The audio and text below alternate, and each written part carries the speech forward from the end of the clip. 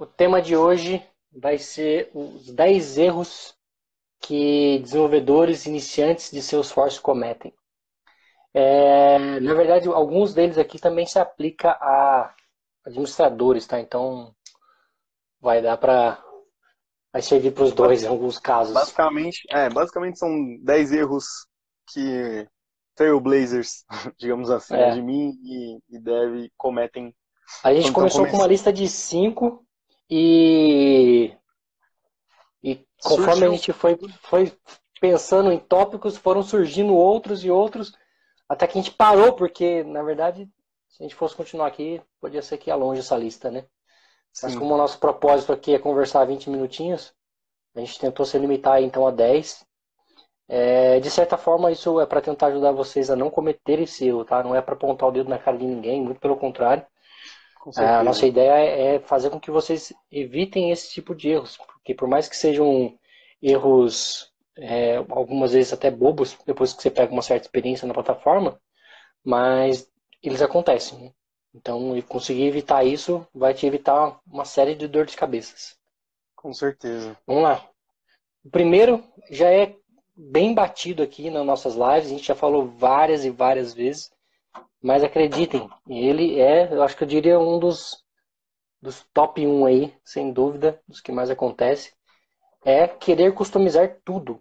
Né? Um desenvolvedor que acaba começando, conhecendo Salesforce, que vem de outra linguagem, vem de Java, vem de C Sharp, vem de Node, ele já está acostumado que ele tem que fazer tudo via código. Então, para ele, acaba sendo mais fácil codificar do que algumas vezes é, ou direcionar para alguém fazer na, na é, programa, sem ser programaticamente, né? ou a, até mesmo fazer, depende muito do tamanho da empresa.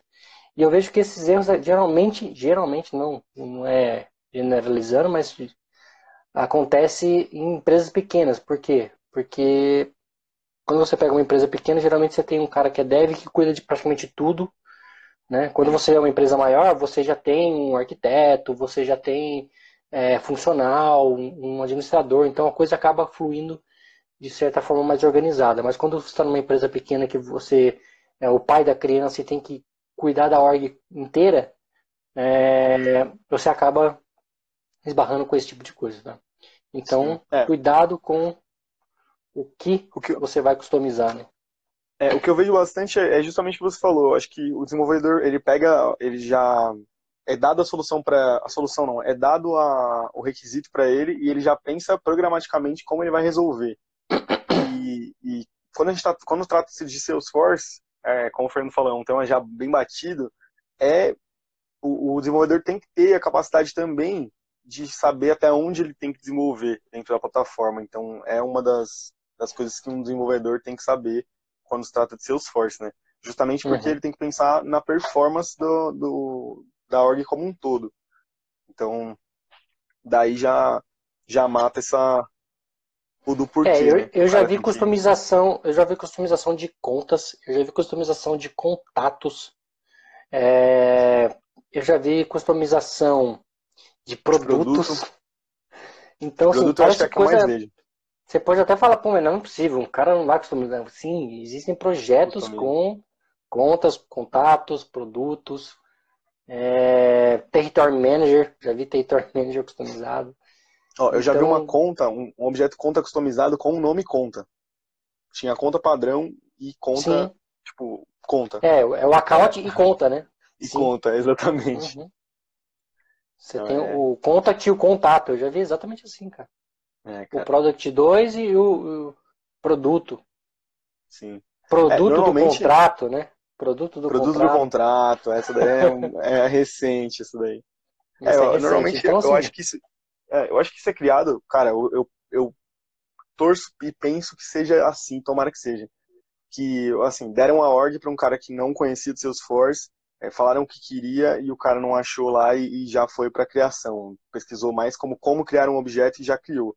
Porque uhum. é, para um cara para um cara que está começando, se ele já tem alguma noçãozinha, já estudou já estudou um pouco de Trailhead, fazer isso, cara, é, é preocupante. Não não façam isso. É, é, é a Salesforce tem um, um, um, termo interessante que ela fala é de mim por acidente. Né? Algumas pessoas acabam é. virando de mim por acidente. E, e para o mundo de dev acaba acontecendo isso também. Né? Às vezes a gente tem é, desenvolvedores por acidente. Né? O cara programava em uhum. outra linguagem, até mesmo dentro da própria empresa, e a empresa adquiriu o Salesforce, ela teve que aprender o Salesforce e foi se virando como dava. Tá? Então, não, não é certo ou errado, mas é que dessa forma é muito errado. Né?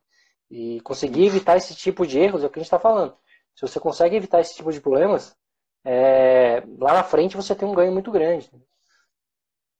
Bom, segundo, segundo erro aqui, muito comum, é esbarrar em limites.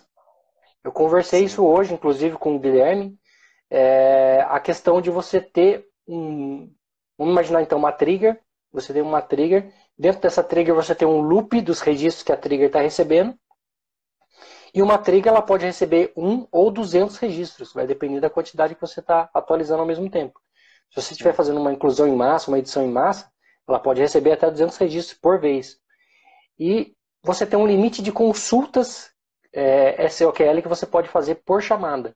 Então você pode fazer no máximo 100. É, se você fizer 101, vai dar um erro. E se você estiver fazendo uma consulta dentro de um loop, você vai fazer 200, teoricamente você chegaria a fazer 200 consultas. É que ele não vai fazer porque no 100, 101 ele vai parar e vai dar um erro para você. Já então isso é um erro muito comum, muito comum. O que? O desenvolvedor colocar a trigger e pensar que sempre vai ter um único registro. Tá? Ele só olha para um único registro. Ele esquece que amanhã alguém pode virar para ele e falar assim: preciso fazer uma carga. Né, eu trabalhei num projeto onde você tinha objeto vagas, você tinha objeto candidato, você tinha objeto é, candidato da vaga. E eu precisava fazer uma inserção em candidato da vaga em massa. Eu precisava pegar uma série de pessoas e colocar dentro de uma vaga. Eu não conseguia. Uhum. Por quê? Porque caía na trigger que tinha um milhão de queries e estourava o limite. É. Então isso é um erro muito comum. É... Terceiro erro muito comum, cara. Inúmeras triggers para o mesmo objeto. É, isso é, não, é, não é tão grave porque assim, ele de certa forma o, a plataforma permite. É, porém, não é boas práticas, né? Quando você então, tem mais de uma trigger por objeto, vamos supor que a gente tenha duas triggers. Você nunca vai conseguir prever a ordem de execução delas. Exatamente. Você nunca vai saber qual vai rodar primeiro. Então, por isso, é, acaba sendo uma má prática. Né? É, recentemente, a gente viu um caso com quatro triggers no mesmo objeto. Então, você imagina, como é que você faz o controle do que vai rodar? E... É impossível. E... É, eu, eu, acho que, eu acho que essa, essa é grave justamente porque, assim, é aquela coisa, né?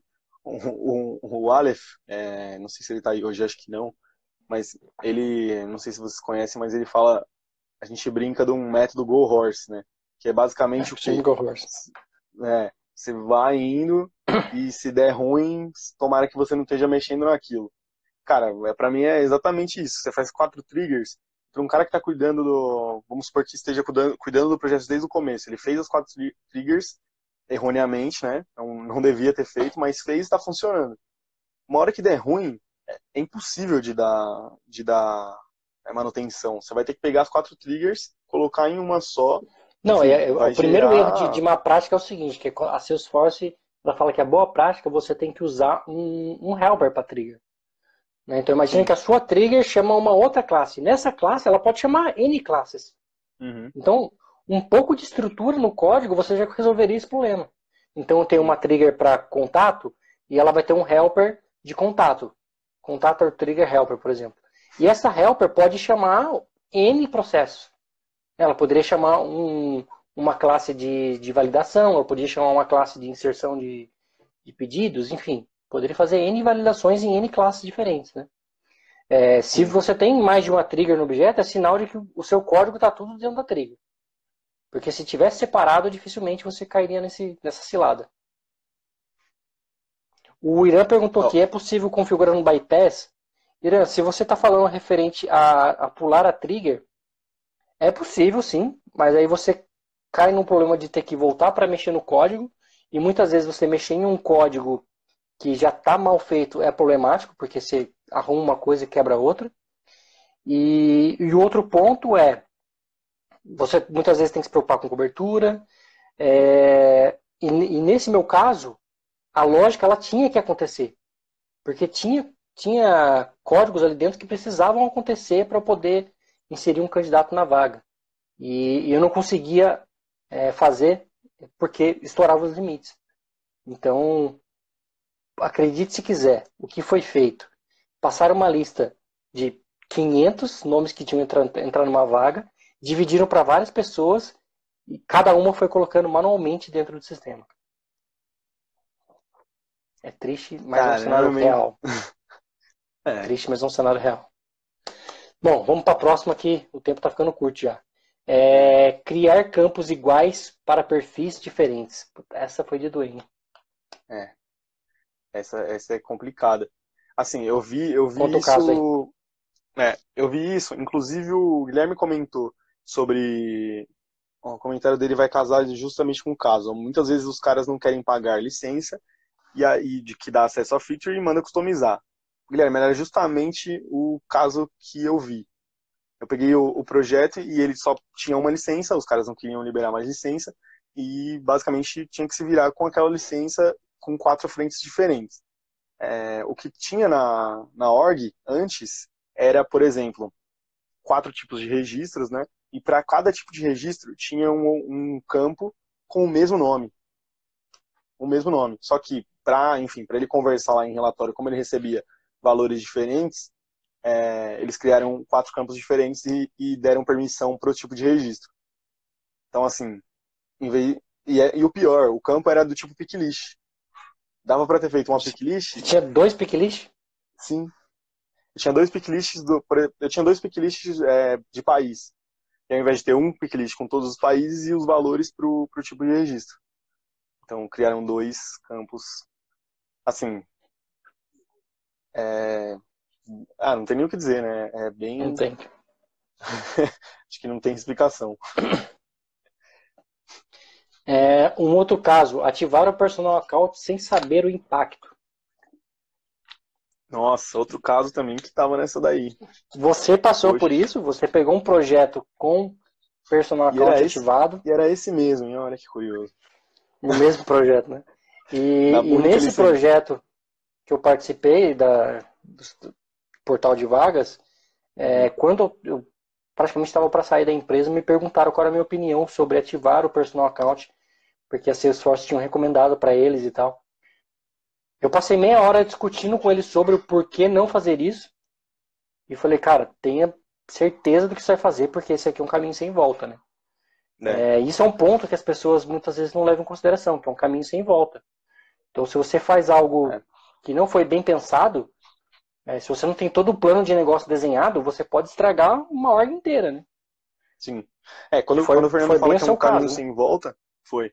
Quando o Fernando fala que é um caminho sem volta, é porque para voltar desse caminho é praticamente impossível. Você vai perder, eles vão ter que fazer um chamado, mapear todos os, os seus registros na sua conta, no seu contato, saber o que é personal account, enfim.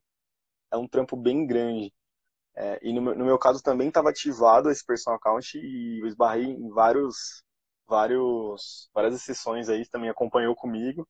Tinha coisa que estava acontecendo para a gente descobrir foi apanhando, né? Tava, você estava trabalhando num projeto e estava funcionando, você me mostrou que estava funcionando e no meu não funcionava a mesma coisa. E aí a gente foi desenrolando até ver que era limite de por, por conta da ativação do personal account. Então é uma é uma funcionalidade Perigosa. Que é perigosa. Inclusive tem um post no blog falando de personal account, né? O título é. deveria ser Não ative personal account, mas a gente, a gente fez um título mais bonitinho. Depois procura é. lá. É, já nem sei, eu perdi o número do erro aqui, mas o próximo é não migrar para o Lightning. Pô.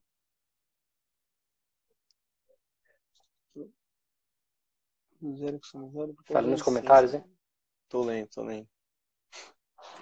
Bom, não migrar para o Lightning. A gente já a gente fez um webinário já sobre isso, por que, que você deve migrar para o Lightning agora. É...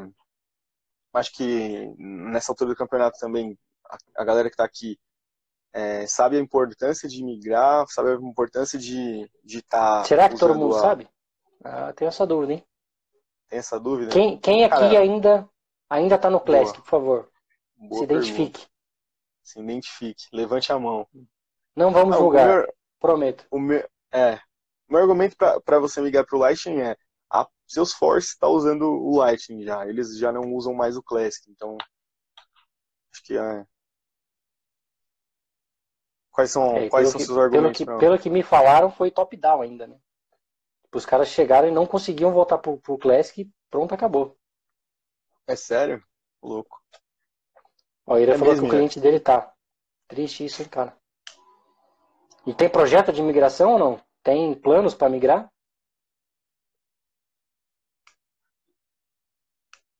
É, para quem não sabe, na última versão, sem ser agora, essa se não me engano foi a anterior, a Salesforce ativou como uma operação crítica, uma, uma update crítico, é, que ela vai, a partir de outubro, fazer a, a, a, migração, não migração, ela vai jogar o usuário para o Lightning automaticamente, em períodos de tempo aleatório. Né? Então, de tempos uhum. em tempos, ela vai jogar o usuário para o Lightning e ele, se ele quiser, ele vai ter que voltar é, na, mão. na mão para o Classic. É óbvio que tem, tem maneiras de você configurar para que isso não aconteça, é, mas eu vi muita gente na comunidade, se você for no, no Success Community, muita, muita gente desesperada perguntando como que ela faz para não migrar, porque vai dar problema, vai parar a aplicação e tudo mais. É, bateu um desespero de algumas pessoas e, e, a gente vê que é por falta de informação de saber que. É, primeiro que assim, essa migração já está anunciada há muito tempo. Né? Porque assim que foi anunciado o Classic, é, a, a, o Classic, a morte do Classic, né, teoricamente, as pessoas já poderiam pensar um pouco em, na migração para o Lightning. Né?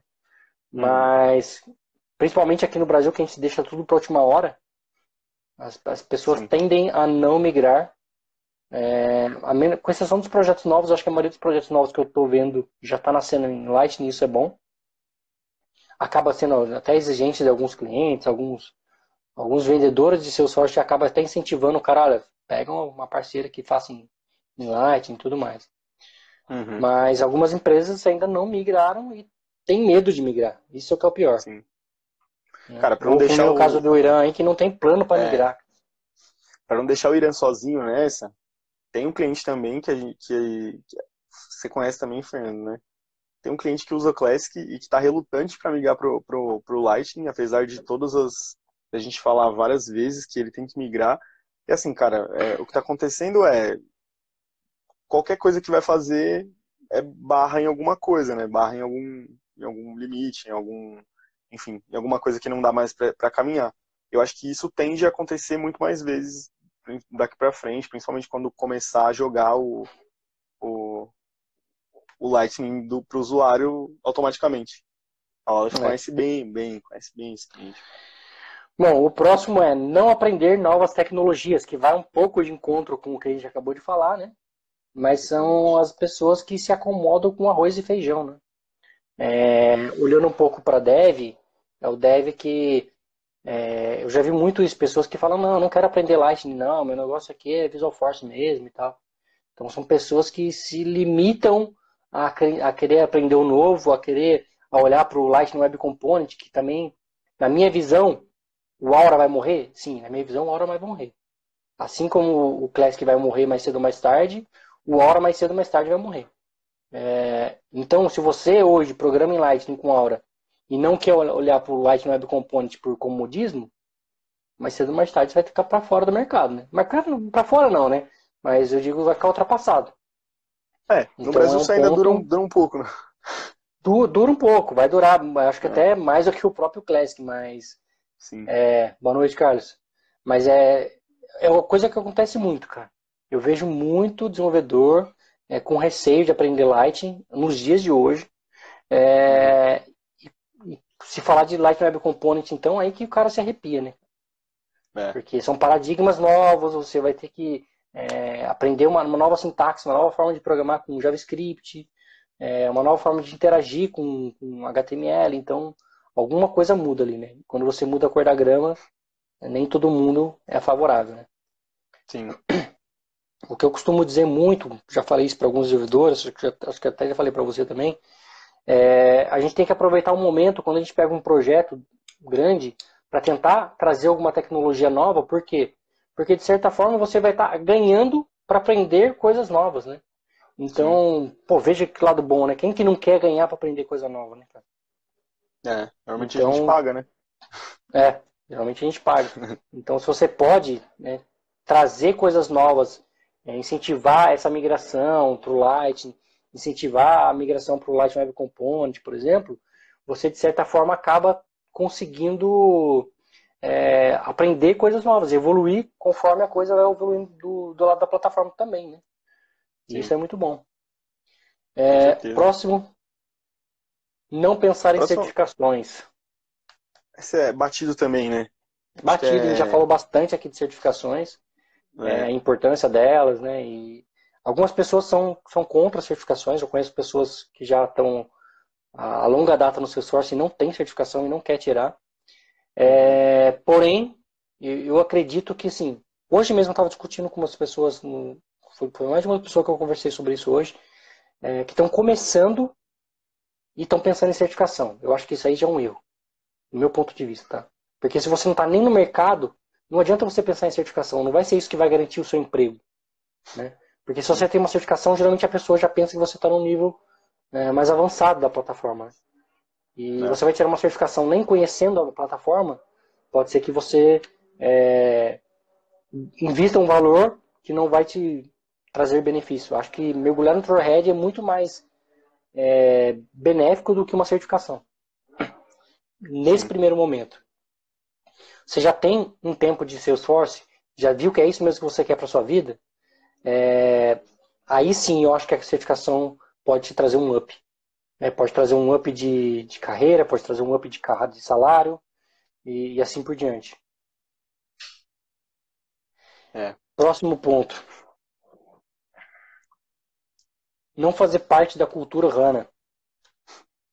Né, a gente vê Esse muitas é um... pessoas, Esse, com exceção é um dos que estão aqui, né? Os Sim. que estão aqui, de certa forma, estão interagindo com a cultura HANA. Né? É isso que a gente faz aqui, de compartilhar conhecimento todos os dias é, faz parte da cultura HANA. O Carlos faz um evento é, todo, todo final, de, final de mês, última quinta-feira do mês, chamado MP of the Hour, que também faz parte da cultura HANA. Né? A comunidade de usuários de São Paulo também faz evento todo mês. Então, participar desses eventos, é, não só participar, mas também poder compartilhar, mesmo que seja um pouco, é, eu vejo que tem algumas pessoas que têm esse conhecimento, às vezes evitam de, de poder compartilhar, é, eu chamo algumas pessoas para fazer post pro blog, elas ficam meio tímidas, meio encalhadas e não querem uhum. compartilhar um conhecimento foda às vezes, né, cara? Então, Sim. dar esse primeiro passo de ajudar também é uma, uma via de mão dupla, né? É, acho que eu, com certeza, se a gente somar todos os conhecimentos, todo mundo vai conhecer mais do que se você ficar com só o seu conhecimento, né? Então, uhum. a ideia é essa. E eu acho que o Salesforce, ele, ele faz isso muito bem, cara, de trazer você pra... Trazer você, tipo, você consegue realmente... É como se você... Assim, acho que é uma referência boa para o brasileiro, é como se você tivesse um time, né? Então, é...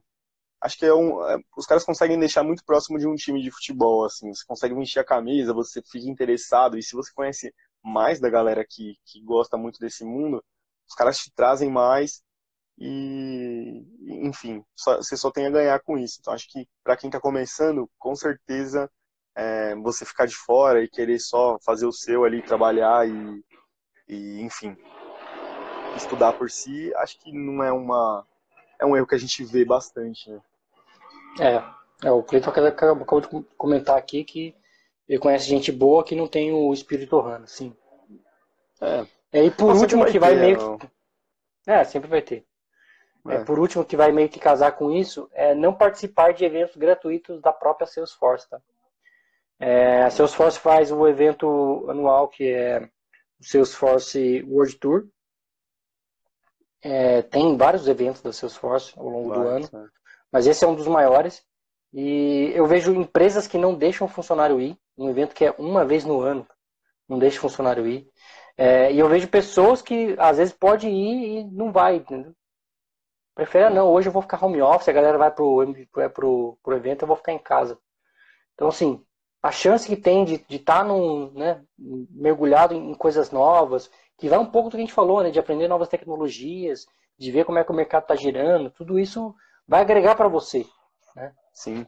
E, e muitas vezes é. agrega para a empresa também. Né?